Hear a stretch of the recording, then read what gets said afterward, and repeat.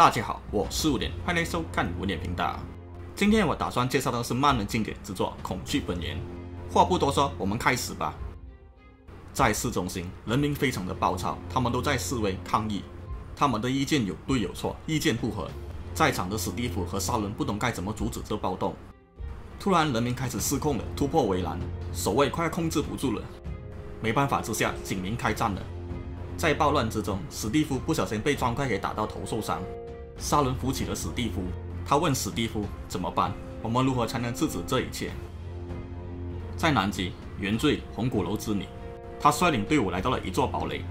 他们公路里面只为寻找一样东西，就是这个神秘的锤子。当年红古楼试过举起，但失败。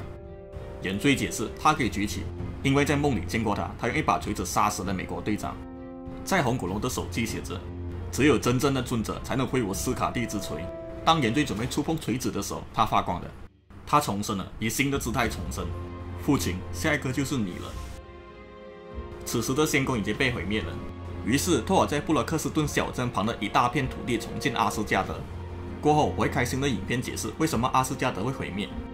复仇者代表钢铁侠托尼史达克向各界媒体宣布会帮助重建仙宫。史蒂夫发现托尔走神了。原来他注意到自己的父亲奥丁来了。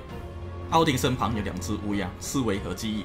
他们对奥丁说：“下面很多怪人。”奥丁吐了口水，告诉他们都是无关紧要的死人。这时监视者也出现了。奥丁告诉他自己曾预测会再次见面的。奥丁对监视者大发雷霆：“你是来这里见证我最大的失败吗？斯卡蒂醒来了，恐怕最终预言要成真了。你前来审判什么人？全能天赋？”奥丁目前只能以发泄心情大骂监视者。监视者慢慢的离开这里，奥丁在他走之前还一直大骂他。这时托尔上来了，他问父亲在声嘶力竭什么。奥丁顿时觉得很尴尬。托尔问奥丁为什么不和我们站在一起？你说的我们究竟指的是谁？那些穿着奇怪服装的猴子吗？他们是英雄。神为什么仰仗人类？他们希望把仙宫重建，作为增进彼此良好的关系。无理的小兔崽子，你是人还是神？他把托尔直接压制在地上。最后，托尔选择站在人类那边。奥丁离开前留一句话给他：软弱。在太平洋的深海处，化身斯卡蒂的原罪，用神锤驱散周围的蛟龙。他来到深海的密室，这时有把声音说了：“我的孩子，你回到我的身边了。”那位老人叫原罪为孩子，并告诉自己才是众神之父。天色变化，世界树也在呼唤，呼唤生命的归来。奥丁恐惧的预言来临了，他担心的事情要发生了。托尔在仙宫和复仇者大开宴会，有说有笑的。就在这时，奥丁命令仙宫所有人到世界树集合，他要将仙宫带回原来的宇宙空间。为了躲避大蛇，奥丁要抛弃地球。托尔对奥丁本来就不满了，他抓住奥丁的肩膀：“奥丁，去你的！”奥丁把托尔打翻在地，够了！复仇者全跑出来了。托尔大骂他父亲独眼混账，他气得一锤击中了奥丁。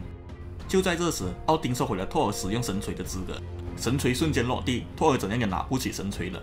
奥丁对他说：“是的，奥丁可以给，也可以夺走。”奥丁霸气地告诉他：“我是你的父亲，也是全能天赋。现在仙宫领导权归我了。”没有神锤的托尔还是朝奥丁攻击，但还是失败。奥丁就要把托尔给打晕拖走了。众神们跟着奥丁的脚步慢慢离开人类和地球。就在这时，世界各地地方都降下了神锤。蜘蛛侠问史蒂夫：“发生什么事？”史蒂夫回答：“诸神抛弃了我们，蜘蛛侠。世界会毁灭吗？为什么奥丁如此的害怕大蛇？地球上现在没有众神的保护，现在唯有靠他们自己了。如果你想知道接下来故事，就在影片的下方按赞或者留言给我知道。你们的存在就是我的动力，感谢你们的收看。